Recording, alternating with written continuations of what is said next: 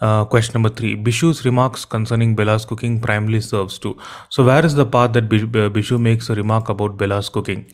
Look at this. That Uh, he admires her cooking, but then he also keeps telling her to be to some make something better always. Like Yeah. it could have done.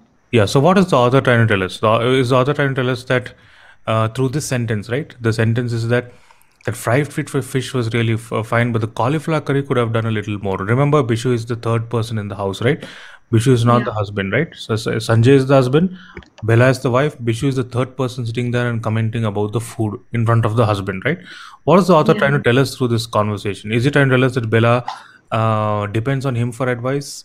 Is it trying to tell us that Um, Sanjay that they that he has that freedom in the house? Is it trying to say that he lacks refinement, or is it trying to say that he has fond memories of Belasco here? Got it? hmm. So through the conversation, the author is trying to us that look, uh, Bishu is basically like a family member. Even though he is not a real member, he's just like a family member because he has been a mentor since childhood, and basically he's elder to all.